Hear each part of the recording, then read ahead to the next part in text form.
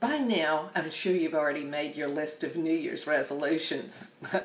Unfortunately, here we are a week later, and some of those resolutions have already been broken for whatever reason. I have one that I think is so important to put number one on your list, and it's not too late to add it now, and that is to make yourself your number one priority. When you do this, you increase your value that you have to give your family, your friends, and also your work.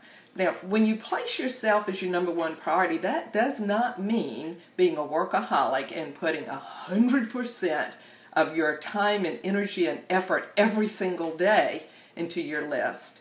What I mean is when you make yourself your number one priority, that means you take care of yourself. You get the right amount of sleep. You eat nutritious meals and you exercise. Because when you do this, guess what? You feel better. And when you feel better, you have more energy. When you have more energy, you're able to focus better and achieve so much more. So, take time now and add yourself as your number one priority.